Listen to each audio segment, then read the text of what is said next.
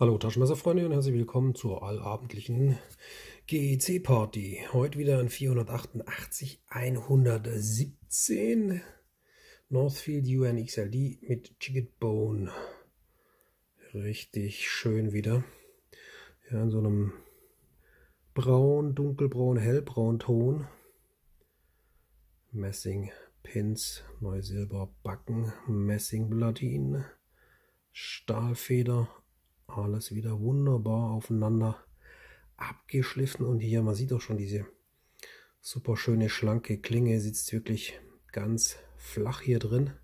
Also nicht irgendwie so ein Buckel, der großartig aufbauen würde. Also ein schönes Gentleman Slip Joint, das auch im dünnsten Etui Platz in einer selbst engen Hosentasche finden würde. Schöne Tidui Plakette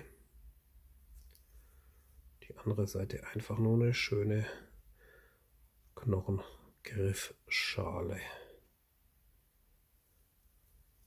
Nagelrinne, ordentliche Federspannung, 90 Grad Klingenstopp, schöner Klingenanschlagschutz.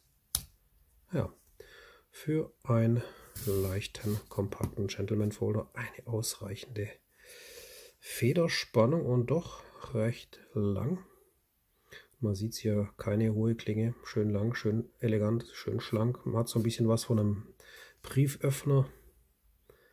Lange, schlanke Klinge. Fast 8 cm, also 78 mm und eine 7 cm Schneide mit 178 mm Länge. Also kann man im EDC-Alltag was damit anfangen. Hier hinten die Übergänge, ne? wie viele Übergänge hier sind. Und trotzdem wirklich alles fein sauber aufeinander runterpoliert. Natürlich wieder eine 1095er Kohlenstoffstahlklinge, die kriegt man leicht nachgeschärft. Kriegt man sehr schön scharf und bekommt halt irgendwann im Lauf des Klingenlebens so eine gewisse Patina. Ja, schneidet euch mal einen Obstsalat damit zusammen habt am nächsten Morgen eine schöne Patina drauf. Aber das mögen ja die Liebhaber dieser Messer, sonst würden sie sie nicht kaufen. Das Messer lebt, es verändert sich, bekommt seinen eigenen Charakter. Ja, nice. Sauberer Stopp.